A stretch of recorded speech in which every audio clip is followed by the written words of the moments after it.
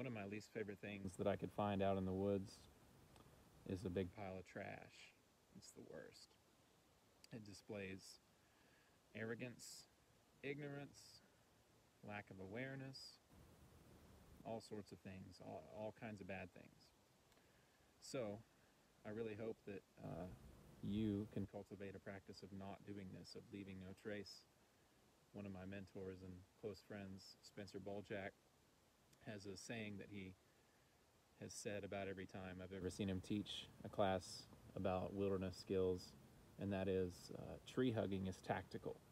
and it's a fun little statement. And it's true, you know, there's a lot of overlap between caring for the earth and not leaving your crap everywhere and being smart and sneaky and not leaving much of a footprint that you were there. So the two worlds of like the tactical guys and the tree hugging hippies can come together in a really powerful way with that uh, awareness of that fact that tree hugging is tactical. But all that said, this pile of trash is disgusting. I don't like it. But I like to find the positive side of things. It's a good way to live. So today I'm going to share with you, assuming my lighter doesn't run out of fuel, um, some interesting uses you can make with this trash. And I'm specifically going to talk about plastic because it's one of the things that's the most, uh, it takes a long time to uh, biodegrade. The only thing longer in this area that would take longer than that would probably be the glass. Glass takes a really long time to biodegrade, but plastic is pretty bad. Plastic, because it's oil-based, is actually a good fire starter in a lot of cases. And so I just want to show you some examples of that real quick and uh, how you can use plastic in a pinch for a survival fire. Now again, this is an exception. This is not like a, a, a rule, like something you would just go out and plan on doing. Like, oh, I'm gonna skip taking my fire starter with me because I'm sure I'll find some plastic somewhere on the trail. Because again, it's not great for the atmosphere to burn plastic, so don't make it a habit but I'm just gonna tear up a little bit to demonstrate how good it is. So this plastic is kind of like like a wrapper. It's flexible plastic, and so it's gonna burn more quickly um, and, and not as long, so it's not as useful, but it's a good first thing to burn. Here's a plastic fork, you know, and I'm gonna take my knife and actually shave it kind of like I would um, a piece of wood. And this is an interesting kind of plastic. It's not working as well. So I'm just gonna break the teeth off this fork and treat them like little twigs.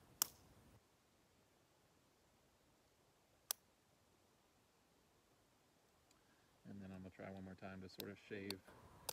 So this is just kind of snapping into little tiny bits, so it's not working that great. So we'll just leave it be. Here's my lighter. It's just about out of fuel. Just want to give this a little test. So the the softer plastic that's flexible is going to kind of melt into nothing, but it'll kind of get you started. And then if you can get one of these little harder pieces lit, you'll have a viable fire starter, almost like a match. Okay. So you got to be kind of interactive with it. Let me zoom this camera in a little bit so you can see what all's going on here.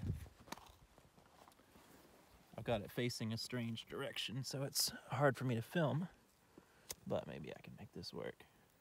So I'm lighting the bottom of one of those fork teeth. And you can see kind of how it works.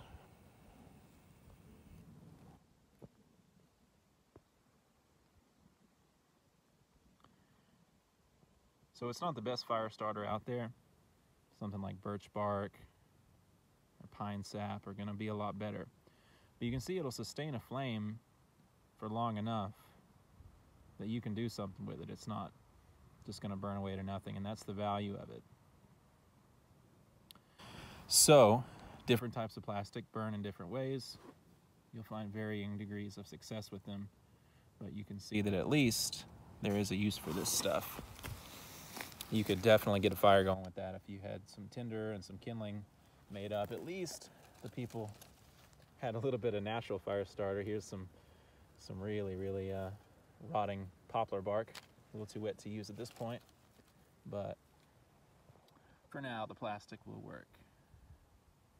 So again, I've said this several times already, but don't make a habit of this. It's not the way to go, but it will get you by in a tight spot. Uh-oh.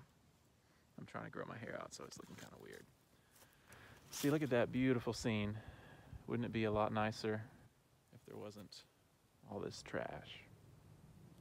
But it's good to make the most of situations and learn how to see the positive. So I hope this video was helpful. Stay safe, stay wild. I'll see you around.